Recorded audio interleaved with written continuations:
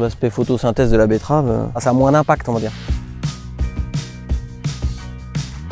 Pour ce field trip, je vous emmène voir un cas où aujourd'hui déjà, les agriculteurs et les agricultrices doivent se passer de pesticides, la betterave sucrière. En tout cas, ils doivent se passer de néonicotinoïdes. Vous savez que ces produits ont été interdits par la Commission européenne parce qu'ils sont une des causes du déclin des pollinisateurs.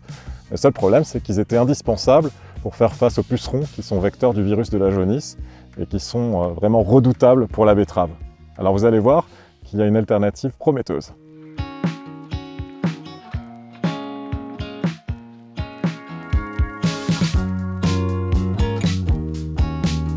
Première étape, au labo, où j'ai rendez-vous avec une chercheuse estonienne.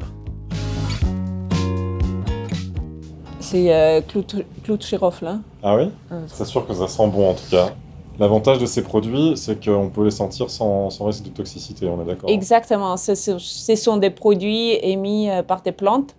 Iné a commencé dans les labos d'INRAE, à Versailles, avant de créer sa start-up, Agri Odor.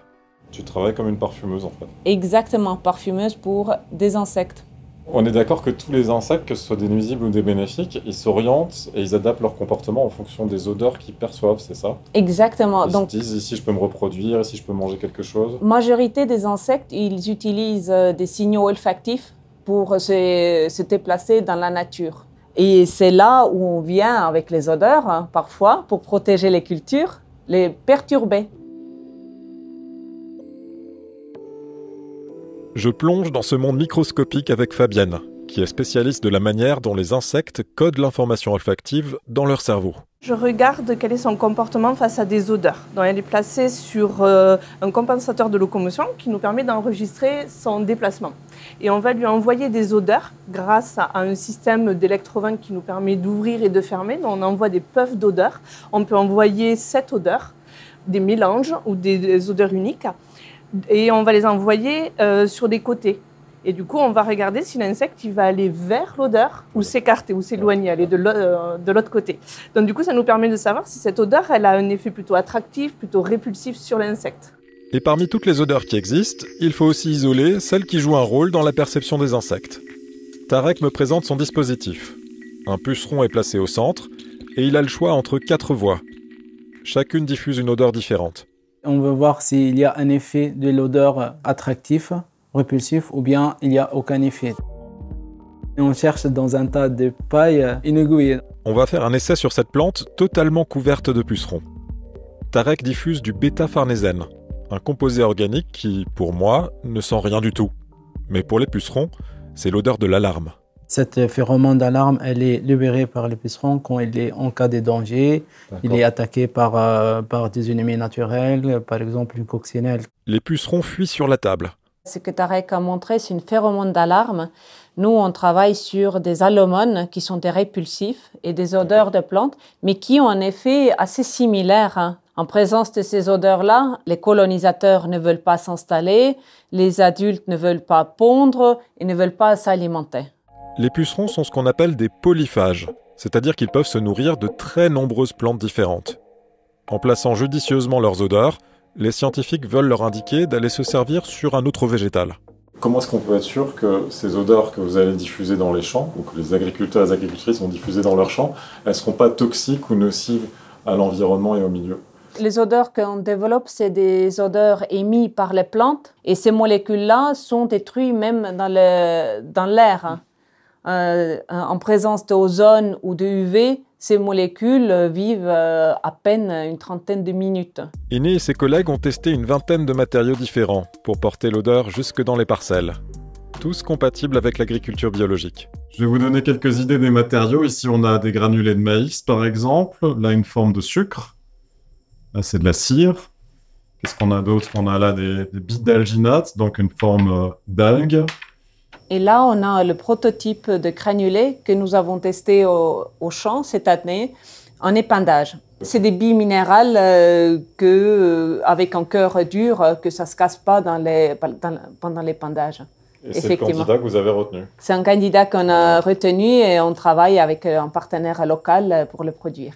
Et ça sent toujours le clou de girofle. Pour voir si la technologie est facilement applicable, j'ai rendez-vous avec Julien, L'agriculteur teste le produit Agriodor sur ses 14 hectares de betteraves, dans la Sarthe. Et pour l'épandage, pas besoin d'acheter un nouvel équipement. C'est compatible avec son Delimbe, l'appareil qu'il utilise pour appliquer l'anti-limace. À la place des billes bleues, il le remplit de billes agriodor, du même format.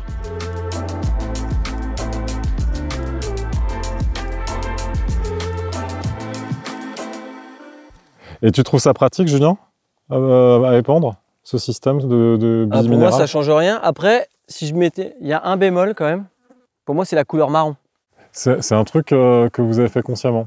C'est des choses euh, sur lesquelles on a, on a réfléchi, on voit aussi euh, ce qu'on peut faire, puisque bon, après c'est aussi rajouter euh, comment dire, des composants dans, dans le granulé. Et puis après c'est aussi une question un peu marketing euh, de la couleur. Est-ce qu'on veut avoir un produit fluo qui peut être associé euh, bah, historiquement à à des colorations associées à des produits chimiques ou quelque, rester sur quelque chose euh, qui est plus couleur marron, euh, plus proche de la couleur de la terre. Quoi. Donc euh, voilà, ça fait partie des réflexions qu'on a et c'est pour ça aussi qu'on aime tester assez vite avec des agriculteurs, prendre leur retour pour améliorer les éléments par rapport à l'usage de la solution. Garder la couleur marron, l'image de la terre?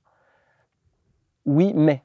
En tant que paysan, moi, je veux du orange. J'adore parce que l'échange que Julien et Ambroise sont en train d'avoir, c'est vraiment très représentatif de ce que je vois d'habitude entre la science et l'agriculture. C'est génial de voir ça sur le champ. À un mois de la récolte de betterave, Ambroise évalue le succès du nouveau produit et son efficacité face aux pucerons, vecteur de la jaunisse. On avait 28 microparcelles, donc 28 caches comme ça. La solution olfactive a été appliquée sur les micro-parcelles, fermées par un filet, à différentes concentrations. Sauf sur 4 parcelles, sans odeur, pour servir de témoin. C'est le cas de celle-ci. Ça, ça craque là. Euh, Celle-ci, elle a été inoculée, donc on voit qu'elle exprime les symptômes. Euh, et après, ce qu'on regarde, c'est est-ce qu'en mettant la solution agriodore, on va limiter le fait que le- les pucerons ils se propagent partout, qu'ils se reproduisent. L'indicateur, c'est le gradient de jaune. Plus la plante est jaune, moins il y a de photosynthèse, donc moins il y aura de rendement. Pour que toutes les microparcelles soient bien exposées à la jaunisse, les scientifiques ont placé des pucerons porteurs du virus sur chacune d'elles. Et là, j'ai l'impression qu'il y en a moins qui sont jaunes. Ah, il y en a beaucoup moins. hein. C'est flagrant. Voilà, on a cette feuille-là qui est un peu touchée, mais les autres, elles sont relativement saines. hein. Là, c'est une parcelle où tu avais la solution agriodor. Euh, oui, D'un point de vue visuel, là, sans compter les pucerons et sans regarder précisément le gradient de jaune, euh, on pourrait se dire que ça a fonctionné. Des solutions comme Agriador sont intéressantes parce qu'elles nous permettraient de peut-être de diviser par deux les insecticides. Et puis euh, la recherche avance aussi sur les variétés euh, tolérantes euh, aux pucerons. Et avec des solutions alternatives, on pourra se passer des insecticides, j'en suis persuadé. Au début de leur vie, les pucerons ont des ailes. C'est là que l'odeur a un premier effet dissuasif. Elle évite que les pucerons se posent sur la betterave. Le deuxième effet, c'est qu'on a un effet, comme les, les odeurs perturbent le comportement des pucerons, on a vérifié au labo euh, qu'on a un impact sur l'alimentation du puceron, donc il va moins piquer euh, pour se nourrir, donc en piquant moins, il va aussi moins transmettre le virus de la jaunisse, hein, puisque c'est avec son stylet quand il pique la jaunisse qui transmet le, le virus. Mais en se nourrissant moins, il, est aussi, il a moins d'énergie et il se reproduit moins. Face à la jaunisse, d'autres solutions sont à l'étude. Des plantes répulsives, semées avec les betteraves, ou des variétés résistantes. Mais pour le moment, aucune n'est prête à l'emploi. Là, on a une solution qui est quasiment finalisée, puisqu'on a des granulés qui diffusent des odeurs. On a vérifié euh, euh, que c'est en capacité de diffuser pendant au moins, euh, enfin, dans la dose efficace pendant au moins 14 jours. Et puis, euh, on espère une, une dérogation pour une mise en marché assez rapide, on espère 2025. S'il arrive sur le marché en 2025, tu serais prêt à, à l'utiliser? Dès que c'est prêt, demain, oui, c'est un, un vrai levier pour nous. Com- complètement, ouais. Ce que vous venez de faire sur la betterave, là, ce que vous êtes en train de faire, ça, ça nourrit énormément d'espoir. Ou est-ce que tu vois encore des perspectives pour ces paysages olfactifs euh, dans l'agriculture dans le futur? Le principe de paysage olfactif et manipulation des insectes avec euh, les odeurs euh, marche sur beaucoup d'insectes.